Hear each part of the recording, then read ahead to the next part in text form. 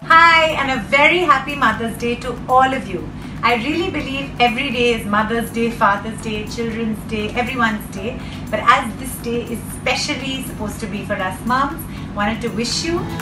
Last year for Mother's Day, I did a crazy rap. There's something in my head that's just gotta be said. I hope you like to hear it, cause I really gotta share it. The kids are in school, so it's time to play the fool. You know us moms and dads can also. Also wanted to tell you that as you know, our show began as my diary as a new mom. In season one, it was all about fun things to do with one baby. From season two, it was with two babies. And from season three, it evolved into a platform to discuss parenting issues. As a mother, please keep continuous in your profession. I think it's a real champion is my husband. From season four, into a platform to discuss family issues with a view to positive change.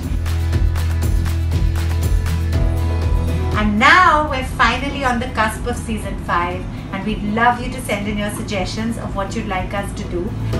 Under Tara Sharma Show, there's now Tara Sharma Show which is on TV and digital. There's also Saturday Noon Live with Tara. There is also Tara Talks Live and Try It with Tara.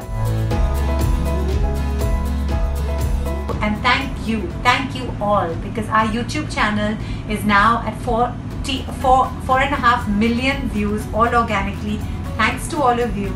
All our social media platforms are buzzing thanks to all of you. And i honestly continue to create the show and do what i do thanks to all of you.